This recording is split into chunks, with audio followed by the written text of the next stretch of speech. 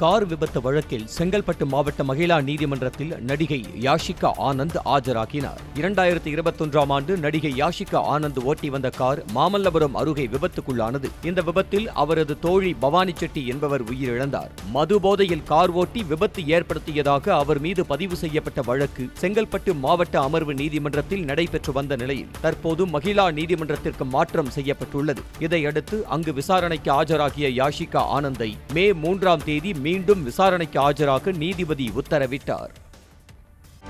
செய்திகளை உடனுக்குடனும் துல்லியமாகவும் தெரிந்து கொள்ள சப்ஸ்கிரைப் பண்ணுங்க.